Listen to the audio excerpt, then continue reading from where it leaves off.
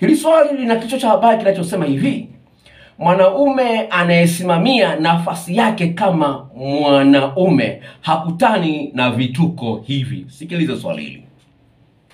Dokta, mimi ni kijana ambaye niko katika mahusiano na dada ninayempenda sana. Tulikuwa tunaishi kwa furaha tele, na akiwa na ujauzito wangu aliniomba aende kwao.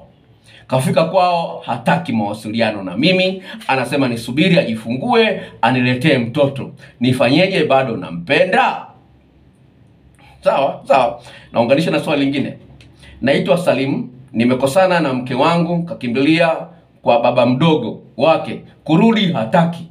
Nimeenda na wazee kwenda kumshauri arudi, msimamo wake ni ule ule. Nimezaa naye watoto watatu, wa kwanza ana miaka kumi na miwili. Unaweza kuona jinsi gani hali kama hii inaweza kutokea mambo mambo yanapokuwa sio shwari. Mwanaume sorry, mwanaume anayesimamia nafasi yake kama mwanaume hakutani na majanga hayo.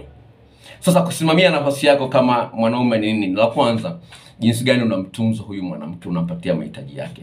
Mara nyingi mwanamke atajua kwamba unamthamini, unampenda pale ambapo unatoa vitu bila kuambiwa, bila kuombwa. La pili, jinsi gani unakuwa mnyenyekevu pale unapokuwa umekosea, unakuwa mwepesi kuomba msamaha. Usionyeshe ubabe kwa mwanamke, itakula kwako. Onyesha unyenyekevu. Hata Biblia inasema kwamba Mungu huwapa neema wanyenyekevu, bali anapingana na wenye kiburi. Kwa hiyo kumbuka kwamba ni muhimu sana uonyeshe kwamba unapokuwa umekosea, kuomba radhi haraka sana.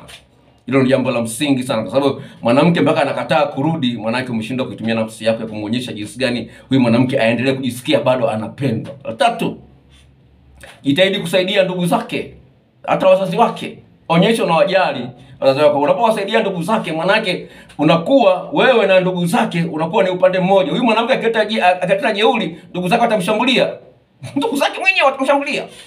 Kwa jitahidi kusaidia na ndugu zake vile vile, sio tu yeye tu peke yake, na ndugu zake wasaidie.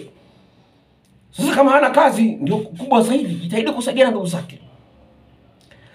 La tatu ambalo ni la msingi uliangalia kwenye tendo la ndoa, hakikisha anafika kileleni. Usi- Usilizike anakuambia kwamba ni- unaniridhisha mara kwa mara. Wanawake asilimia sitini na saba hadi themanini na nne wanadanganya wanaume kwamba amefika kileleni, kumbe hajafika kileleni. Kwa hiyo lazima ujue mwanamke aliyefika kileleni yukoje na yule anayeigiza yukoje. Kinyume na hapo itakula kwako.